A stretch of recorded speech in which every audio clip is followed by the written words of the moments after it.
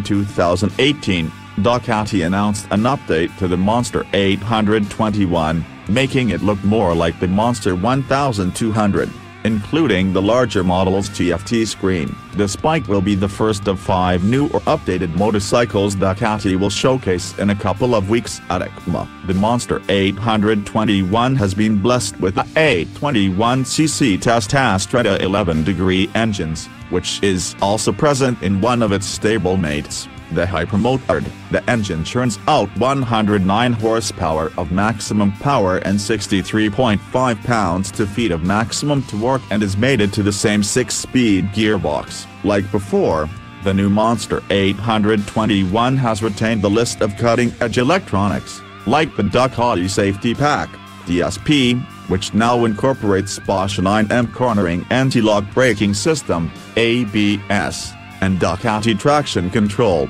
DTC. The Monster 821 comes back in the historic Ducati yellow color for $12,095 that charmed so many Monster fans in the past. This shade, available for the 821 only, completes the red for $11,995 and assertive matte black color range for $12,095.